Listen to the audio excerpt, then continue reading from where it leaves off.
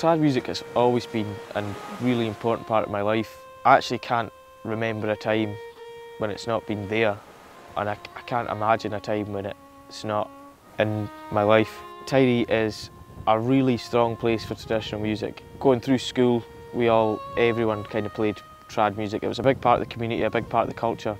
And it is a really sociable kind of music and that's probably one of my favourite things about the scene. Tiree is, I mean you just need to look around you now.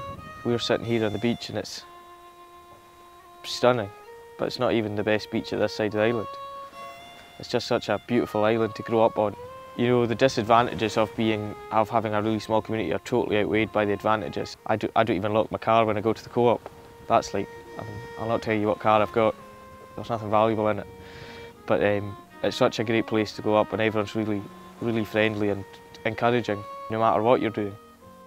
With music or any, any kind of creative arts, you kind of need to have more than one skill set on the go. You can, well, I certainly couldn't make a living just from just playing concerts. So I've been uh, programming the Elevate stage at Tiree Music Festival this year. Its role in the festival, if you like, is to is to showcase um, young young bands, up and coming bands. So I've been coming to the festival since its first year, and uh, Tiree Music Festival's been been brilliant to me, giving me a platform when I was still at school to, to play at, at, a massive music festival. This year to get to work with the team, to see how much work actually goes into putting the festival together.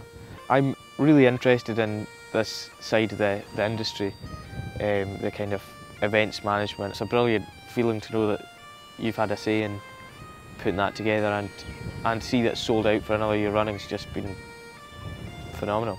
As well as music, I've just put up two um, glamping pods on my croft, which I'm hoping um, in the near future to be able to rent out to, to um, tourists coming out to stay in the island. And I've learnt a lot through being involved in the, the festival as well. Organisational skills that I've been able to kind of transfer over to my, my glamping pods as well. You know, you, you learn all that through, through working in the sector um, and they're total, totally transferable skills.